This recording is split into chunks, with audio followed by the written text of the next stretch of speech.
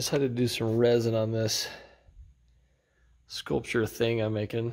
Um, some big cracks. I've had this thing drying in my garage for quite a long time.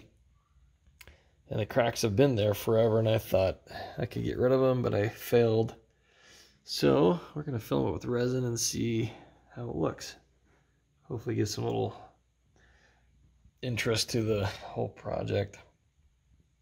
This side, this corner was entirely rotten, and it broke off, and I kind of shaved it down to nothing, but I thought, you know what? Why not? Got nothing to lose here. This was a really big crack here. So I just created a dam with duct tape, try to get this thing level.